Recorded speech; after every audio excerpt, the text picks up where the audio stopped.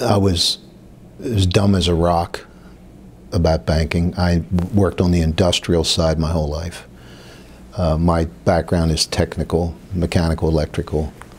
Um, I was enormously flattered, shocked that I was asked to join uh, the Talbot Bank Board, but uh, embraced it. The first 10 or 12 years was easy.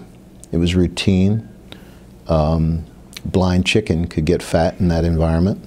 Um, but um, come 2007, and by that time, you know, I was had not only been on the Talbot Bank board, but I had joined the Shore Bancshares, the holding company board. And then um, in 2006, I became the chairman. That was great for one year until 2007 when uh, Wall Street decided to turn the world upside down. And that impact was even greater on banking than anywhere, the Great Recession.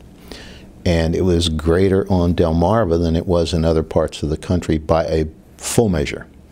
A collapse of real estate values, the stress it put our customers under, the test it put our senior management and our board to. Uh, by 2008, uh, we were fully aware of what was going on and um, the uh, hell that rained down on us for the next five years, from 2008 to 2013, um, required our organization, our banks, um, uh, and all related activities uh, to just go through the greatest stress and reorganization, adaptation you could ever imagine.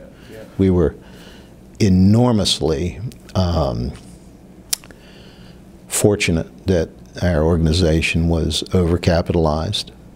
We had an abundance of capital.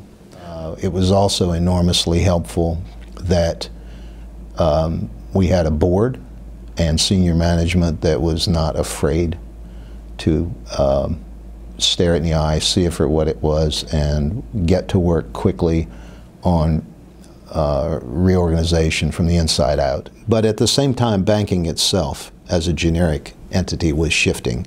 Um, young people wanting to use mobile phones to bank, less traffic in the lobby, uh, de-emphasis of uh, bricks and mortar, uh, competition from non-regulated entities such as online companies to survive and grow was uh, the need to have a, uh, an enhanced senior management team, guidance, and a savvy board.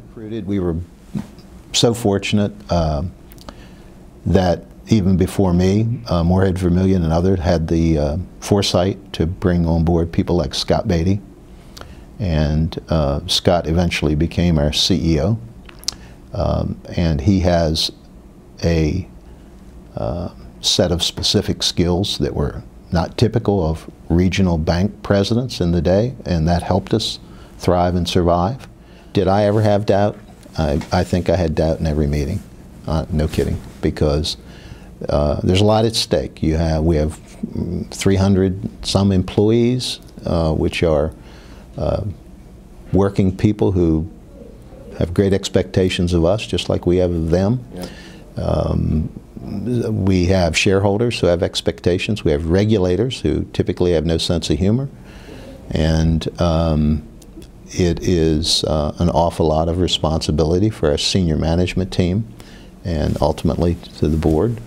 Uh, so there's plenty to worry about. You know, I, I, was asked to be chairman, and often chairmen just serve a year and, or two. Um, but the big joke was, uh, during my uh, tenure, was that um, nobody wanted the job, so I got stuck with it. And once things got good again, I could find a replacement. this is me talking to our board, uh, to the annual shareholders meeting in 2015, and part of my remarks included this. To succeed, we had to change. We struggled, we learned, we adapted, we improved, and we recovered from a persistent economic storm the strength and duration of which had not been seen before. As we all know, even when it is for the better, change is usually uncomfortable, even painful.